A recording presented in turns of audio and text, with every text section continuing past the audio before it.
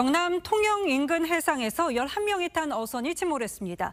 당시 파도가 높지도 않았는데 이 선장 등 3명이 숨지고 1명이 실종됐습니다. 해경은 실종 선원 수색은 물론이고 사고 원인을 규명하고 있습니다. 이성진 기자가 취재했습니다. 해경 구조대원이 선박 잔해물로 헤엄쳐 갑니다. 목재를 붙잡고 버틴 선원을 가까스로 구조합니다. 팀장님 보고해 주세요.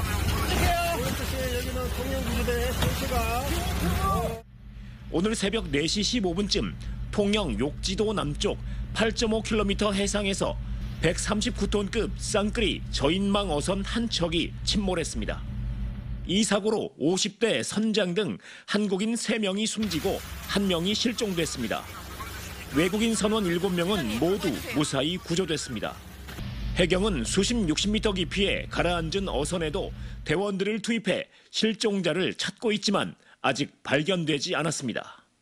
한국 분들이 다 지금 사망을 하셨으니까 저희가 어떻게 지금 정확하게 지금 사건이 어떻게 됐는지 정확히 저희도 알 수가 없거든요.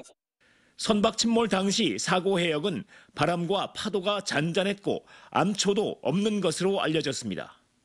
또 기관실이 있는 선미부터 침몰한 것으로 전해졌습니다.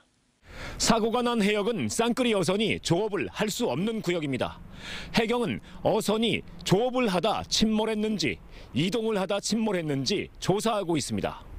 해경은 선체 파손 또는 복원력 상실 등 모든 가능성을 열어놓고 사고 원인을 조사 중입니다.